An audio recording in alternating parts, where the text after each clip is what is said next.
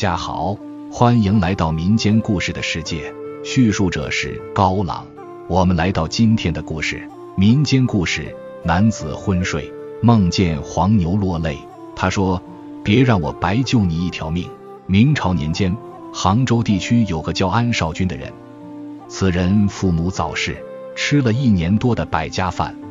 农村里的孩子成熟都早，光吃饭不做事可不行，故五岁时被李正安排去放牛。这头耕牛是村里八户人家合伙凑了四两银子买的，每家轮流给安少军提供饭食以抵工钱。其实有的人家是不愿这样的，毕竟家里找个闲人放牛还是可以的。但事情被李正摊派下来，又不好意思拒绝，心里不舒坦。嘴里说出来的话就不太好听了。有机人反复交代安少军：“这头牛可金贵了，比你的命还值钱，你可要好生看管好它。”安少君年纪虽小，可经历过的白眼却不少。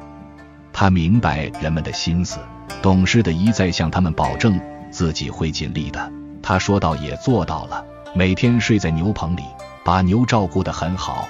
牛在吃草时，他就去地上寻找枯枝。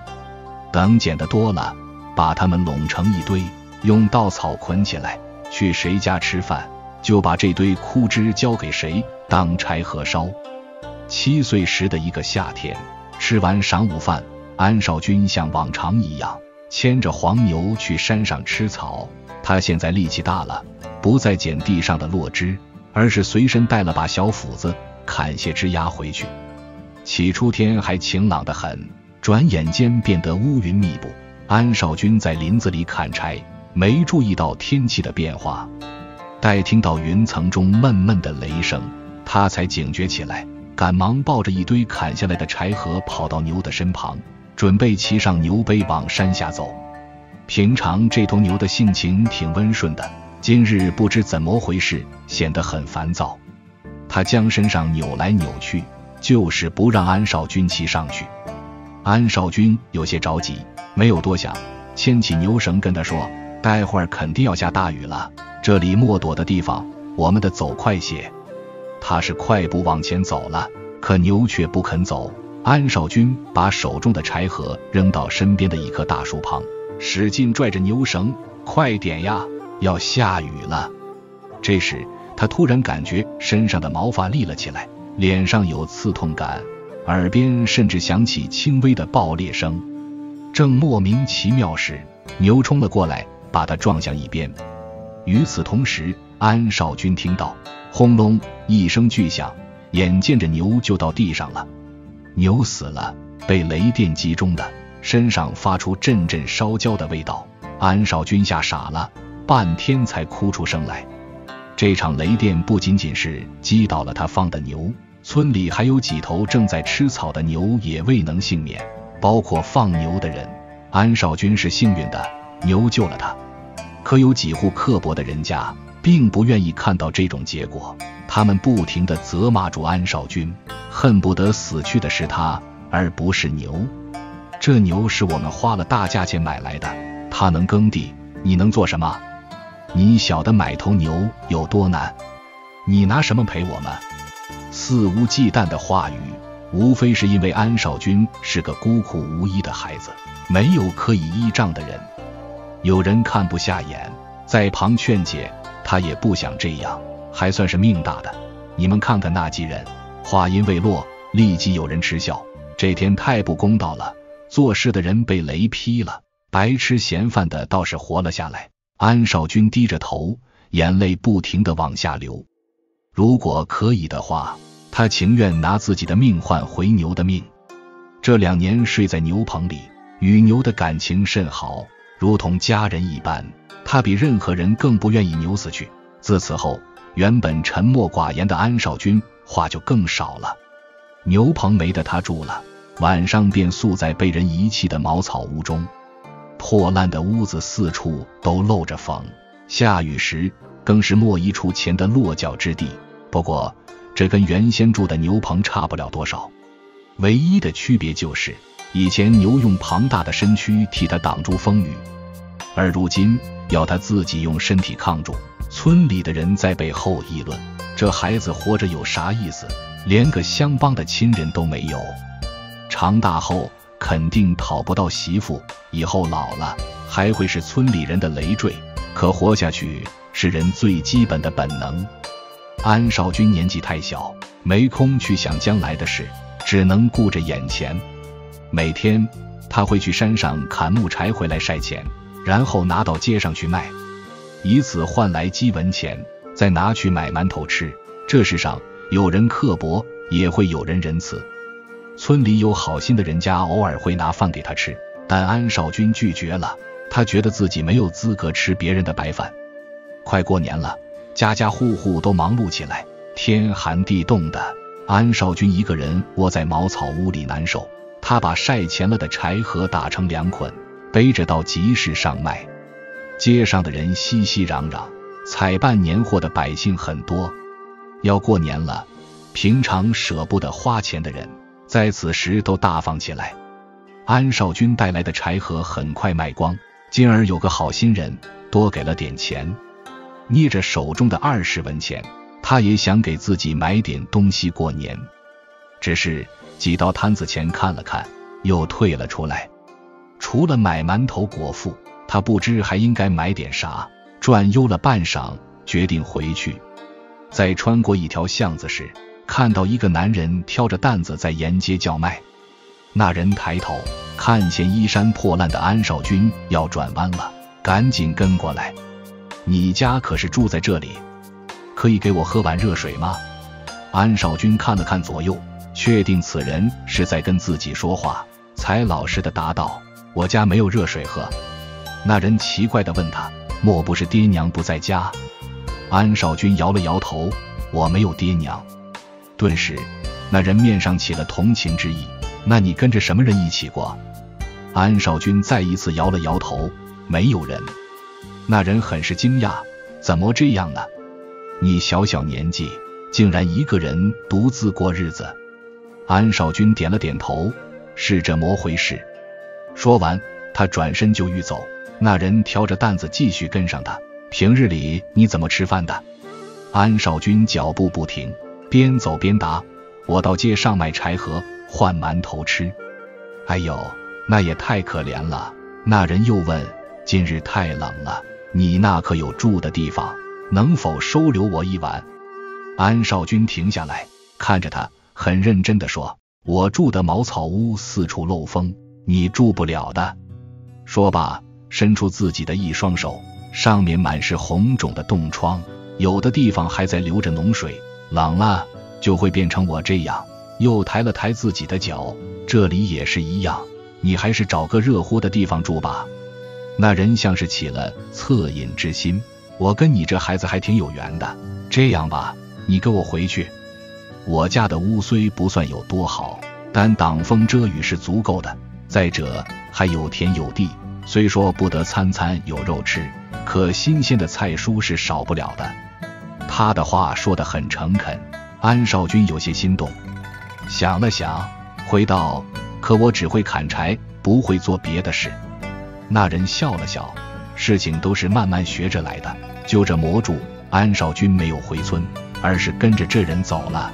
对他而言，去哪儿都是一样的。孩子年幼，不知道外头世间的险恶。他没有想到，这魔一走，竟把自己推入了一条险路。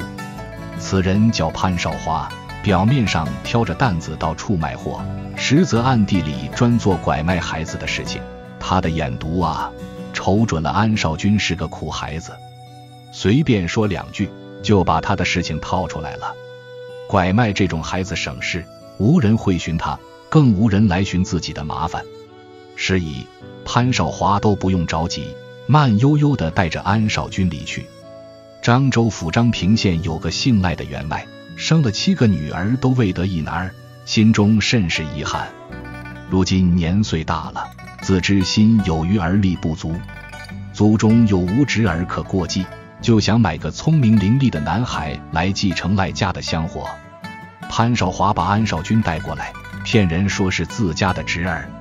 安少君虽然长得瘦弱，但难掩清秀的面庞。赖员外很满意，给了潘少华五十两银子。签了契书后，这事就成了。在赖家待了两年，赖员外夫妇对安少君照顾有加，吃好的，穿好的，还送他进学堂读书。只是好景不长，赖员外的几个女婿觊觎岳丈家的钱财，担心岳丈把家财全部留给这个买来的孩子，竟暗地里联手把安少君转卖了出去。这回可莫卖个有钱人家，而是转卖给一个街头无赖邱二狗。说是转卖，不如说是出钱让人把安少君带离张平县。邱二狗是在应天府混大街的。这次回来是为了处理老母的丧事，他与潘少华一样，做惯了拐卖人口的缺德事。待安少军离开之前，邱二狗在给他的饭菜里下了迷药。当他醒来时，发现自己已经在一个乌漆墨黑的箱子里，一路颠簸着，分不清是在走陆路还是水路。安少军心里很苦，他不明白为何自己的命运如此多舛。混大街的泼皮无赖，什么坏事都做的。邱二狗的手下有帮人专门做贼，安少军就是安排在这，每天被逼着练习做贼的技艺。他年纪小，但对好坏还是分得清的，拒绝做这重事。但那帮人哪容得他不肯，不练就拿皮鞭抽，而且还不给饭吃。一个比安少军大两岁的孩子。名叫天慈，偷偷的劝他：“你先练着，以后的事以后再说。”并且从怀里掏出省下来的半个馒头，递给安少君：“别被他们发现了。”安少君抹了把眼泪，听了他的话，接过馒头啃起来。天慈人如其名，天生有着慈悲之心。那帮人几次三番的让他去医馆偷患病之人用来买药的银子。天慈不肯，竟被活活的打死。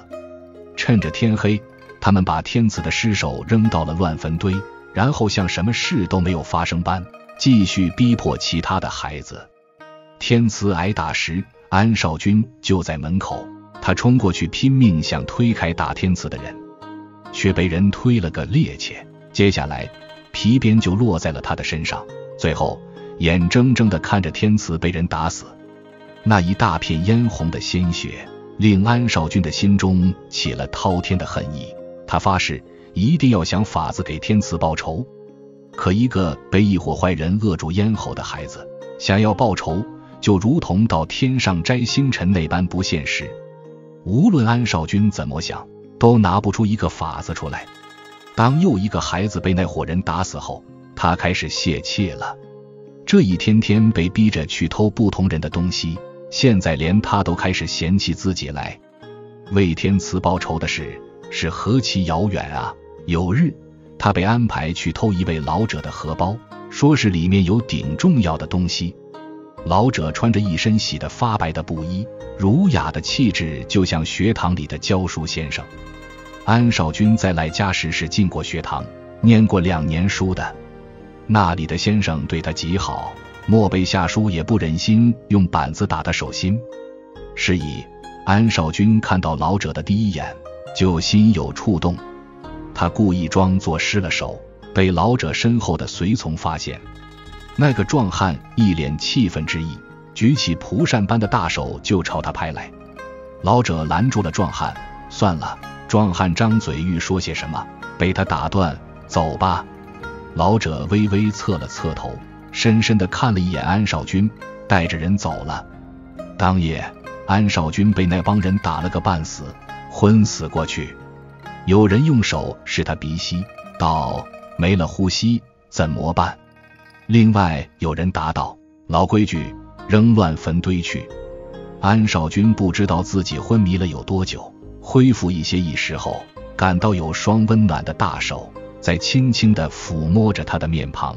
昏昏沉沉中，面前浮现出一头黄牛，居然是幼年时自己的好伙伴。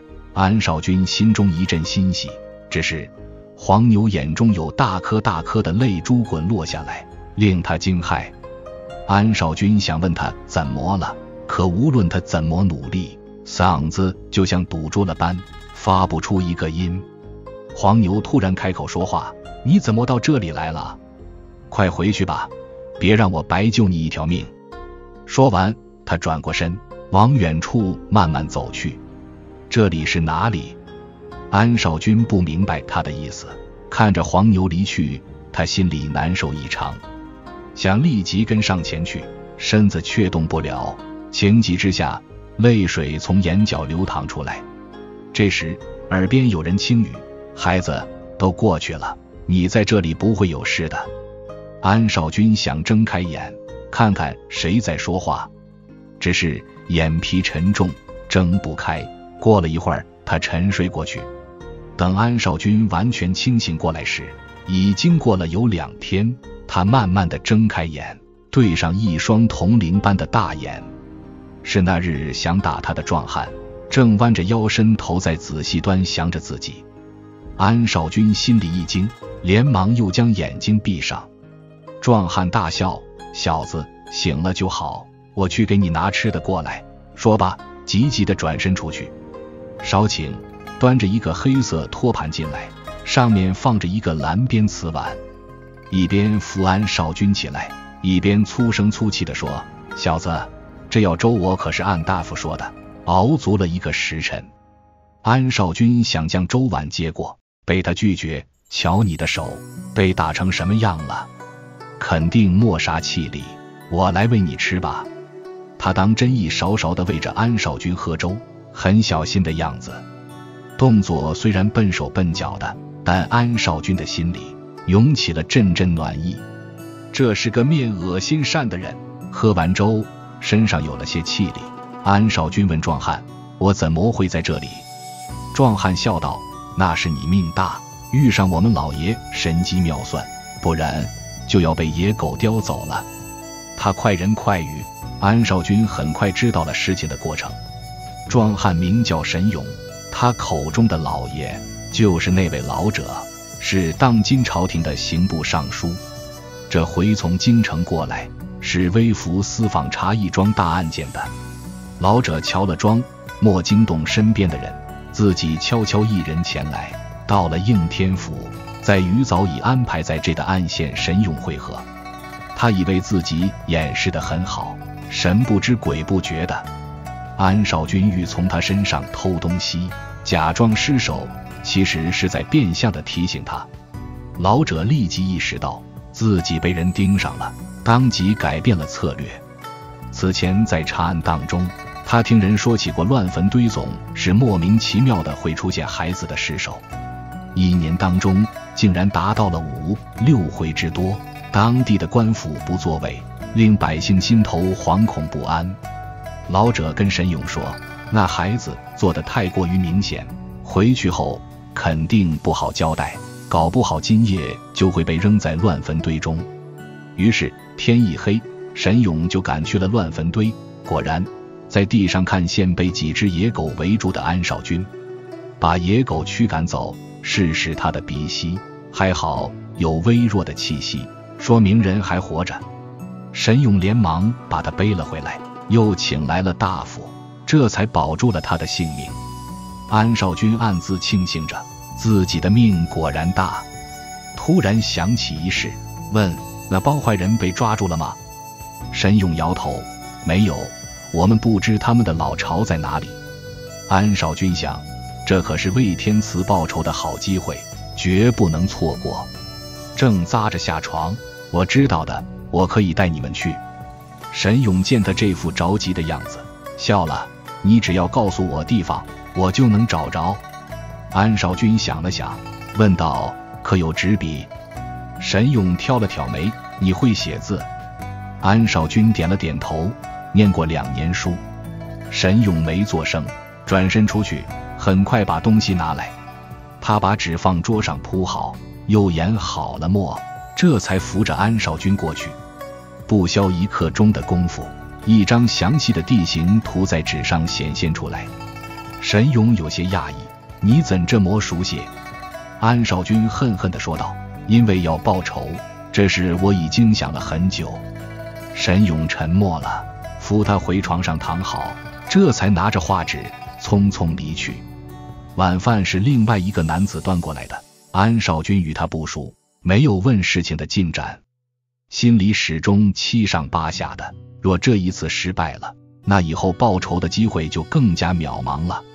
忐忑地度过一晚，第二天早晨，沈勇回来，兴高采烈地告诉安少军，那帮坏人全被我们抓住了。安少军不放心，细细地问他抓了哪些人，还有被拐骗来的那些可怜孩子有没有被救出来。你放心，全办妥了。沈勇轻轻拍了拍他的头，一五一十地跟他说了个明白。邱二狗想跟我们玩狠的，被个兄弟一刀给劈了。安少君松了一口气，喃喃说道：“天慈，我终于为你报仇了。”过了五天，安少君自觉伤势比当初好了不少，提出离开。沈勇没答应，告诉他：“老爷让我带你去京城。”安少君试探地问道：“可以不去吗？”沈勇面色平静，微微地摇了摇头。老爷的命令，我不敢违抗。安少君心里再度紧张起来。他们想做什么？认真思考了一番，觉得再坏的结果也不会像之前那般。这么想过后，心里坦然了不少。那去就去吧。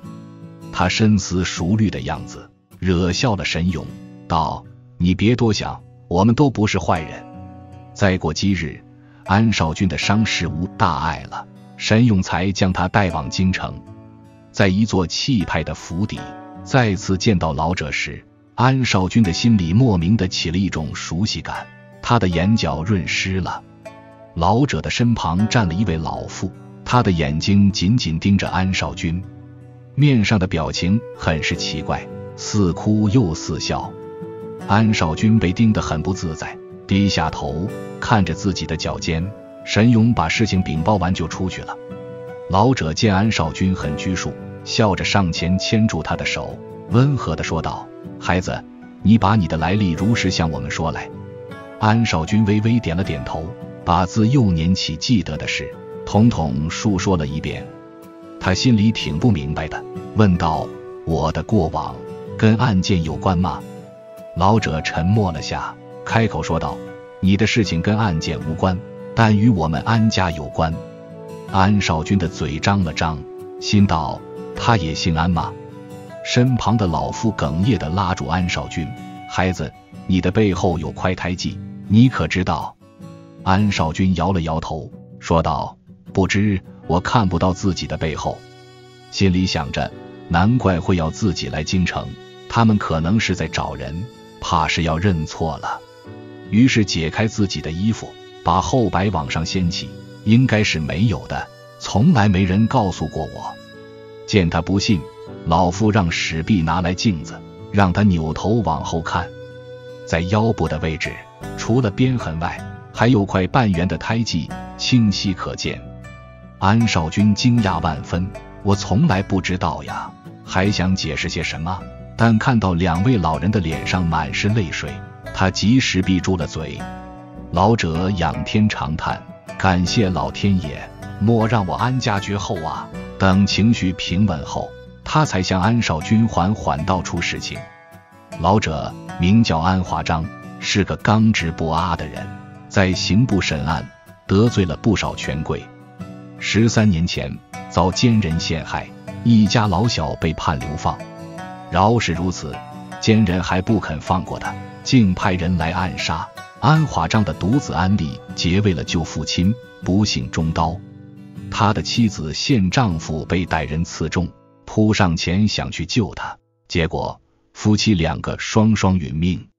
当时安少君只有五个多月，被惊慌失措的奶娘抱走。至于他们去了哪，安华章不知道。两年后，新帝登位，他熟知安华章的为人，除去奸人。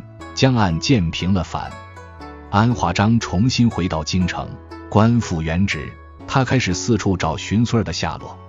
这么多年来，他的官职一级级的往上升，可安少君的下落却是一点消息都没有。也许是冥冥之中老天自有安排，在应天府这个地儿，让爷孙两个见了面。初见安少君时，安华章心里非常的惊讶。他与儿子少年时的相貌，如同是一个模子里刻出来的。这世上，怎么会有如此想象的两个人？他心里起了疑。让沈勇救回安少君后，当夜便查看他背后是否有胎记。孙儿满月时，安华章曾亲自与夫人一起给他洗了个澡，故很清楚那块胎记的具体位置在哪里。果然，孩子背后的胎记一如他脑海里所记忆的那样，这便是他苦苦找寻了多年的孙儿啊！安华章非常激动，但手中还有重要之事需处理。容不得他在应天府待太久，便嘱咐神勇把人照看好，等伤势好转，赶紧带回京城。安华章感慨万千，当初儿子用命救了他，如今孙子又差点用命来帮他。想想儿子出事后，他不是没有过随波逐流的念头，至少可以保全家人。可一旦那魔做了，又对不起黎民百姓。安少君听完，整个人懵了好久。他终于有亲人了，不管他心里怎么想，安华章对他是有一连串安排的。自家的孙儿在外面流浪了那么久，安华章能想到的弥补，就是亲自来教授他学业。安少君对读书不排斥，甚至还很喜欢，在闲暇之余还会跟着神勇学武艺。只是。当安华章让他去考功名时，他犹豫了。我曾经做过贼，那么不堪的过往，别人会原谅我吗？安华章鼓励他内心不要有负担，毁誉从来不可听，是非终究自分明。你只需专心做自己的事情就好了。安少君没有吭声。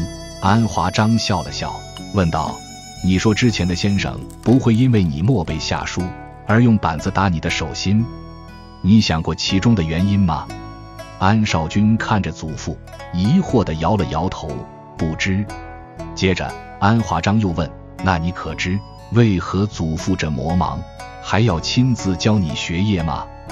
安少君还是摇了摇头。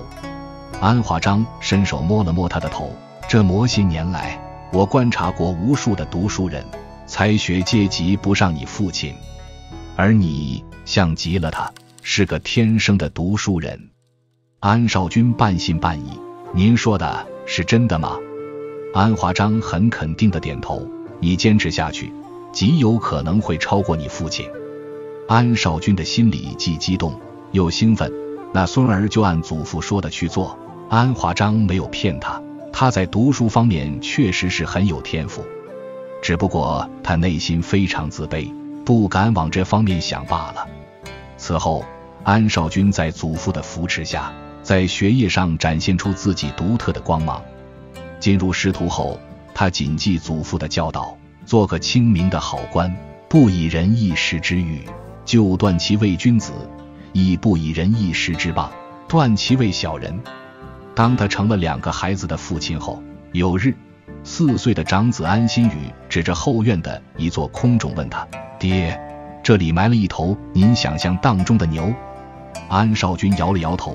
对你们而言，他是头牛，可在爹看来，却是一位亲人。安心宇看着空中，似懂非懂。妻子拉他到一旁，偷偷问道：“当年村里的人那么待你，你恨不恨他们？”安少君笑了：“有什么可恨的？比起那些坏人而言，他们好的太多了。说到底。”我还欠了他们一头牛钱呢，有机会去村里，定是要偿还的。那些坏人，祖父已经帮他惩治过了。沈勇是听令祖父的，他不仅抓了邱二狗手下的那帮人，专做拐卖生意的潘少华同样也没有放过，他们个个被判了斩刑。至于赖家的那几个女婿，则是让他们去当地官府那儿领了几十个板子。安少君听说这些事后。一点都不同情他们，认为是罪有应得。人活一世，头顶有青天，暗处有神明，行善作恶，天必知晓。善人终有善报，恶人苍天不饶。在贫穷中熬出来的人，一般会极度的自私。好在安少君没有，他平和待人，为百姓做了不少好事。早年的安少君经历是非常坎坷的，人世间的冷暖在幼年时就尝了个遍。而一生同样坎坷的，还有他的祖父安华章。做官只为百姓做事，不想虚名，不做虚事，以至于让独子过早的离世，唯一的孙子被人抱走。好在上天有好生之德，万物皆有一线生机，祖孙俩中的团聚。获得圆满的结局。安少君为官期间屡受包封，后来也做到了刑部尚书。安家至今人丁兴旺，子孙繁衍，家道殷富不绝。邀请大家继续看下一个故事：民间故事。剃头匠夜归，见寡妇光脚走路有蹊跷，他破了一桩风月案。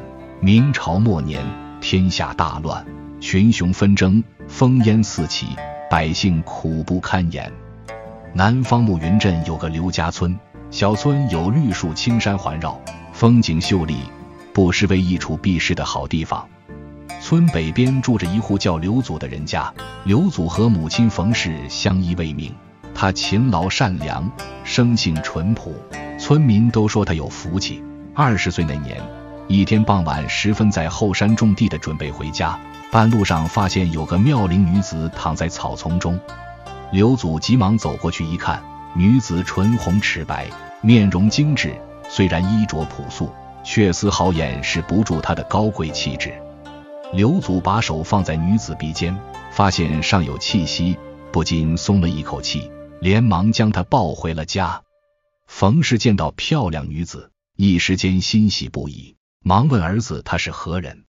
刘祖简单说明了情况，顾不上休息，忙不迭把郎中请来。郎中姓方，医术高超，给女子把过脉后笑了笑：“公子好福气，女子无大碍，只是受了些惊吓，吃几服药就没事了。”刘祖闻言一喜，连忙躬身言谢。果然，几天后女子醒了过来，见到身材魁梧的刘祖坐在床头。他一双美眸尽是好奇，姑娘，你终于醒来了。一脸疲惫的刘祖露出笑意。这几天来，他没日没夜守在床头，盼望着女子能早点醒来。冯氏劝他去休息，但刘祖很执着，坚持不肯离去。二人简单一番聊天，女子介绍她叫莲儿，从北方逃难而来，原本是大财主家的丫鬟。主人家被悍匪给抢走，他侥幸逃过一劫。得知是刘祖救了自己，他脸一红，言谢不已。刘祖看得心醉，忙说：“姑娘客气了。”一旁的冯氏见二人这副神情，窃喜不已。村民听闻刘祖救了漂亮女子，纷纷前来看热闹。有媒婆找到冯氏：“冯婶，你儿子好福气啊，连嫁妆钱都省了。”当然。也有嫉妒的单身青年愤愤不平，说：“凭什么刘祖有这么好的运气，我比他长得英俊，家里还有钱？”有个老者曾学过堪舆之术，望了一眼女子后，他微微叹息：“看他这面相，恐怕不是什么好人。”当然，老者深知言多必失的道理，此话没有对任何人说。莲儿心灵手巧，会做手工活。这让冯氏愈发喜欢。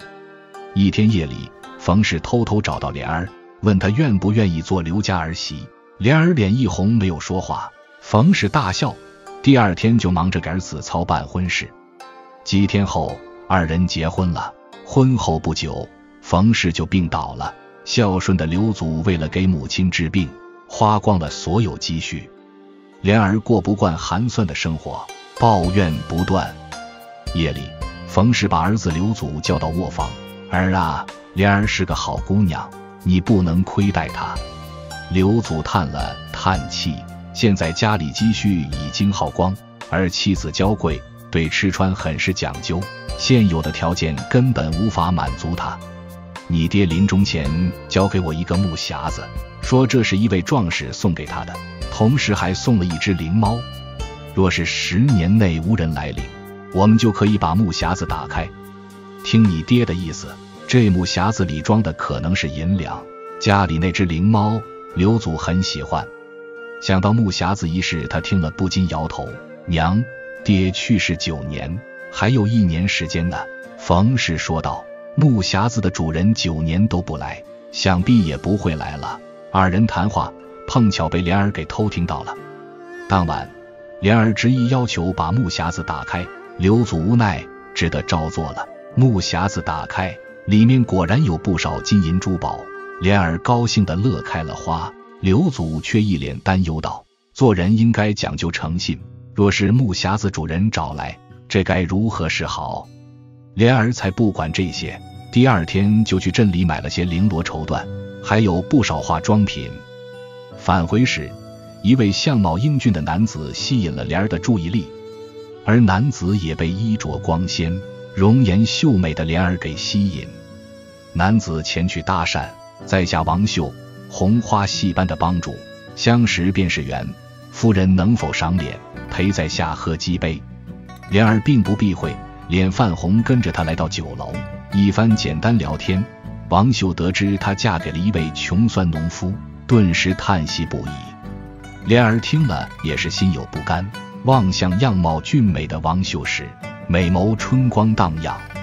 王秀大喜，心里有了计划。此后的一段时间，二人偷偷见面了好几次。一天夜里，王秀和莲儿商量了一件事，莲儿却犯难了。犹豫不决，王秀拍了拍胸脯：“娘子，此事你放心，王某定会做得滴水不漏。”说完，他嘴角露出一抹阴险的笑意。第二天，红花戏班去刘家村唱戏，村民热烈欢迎。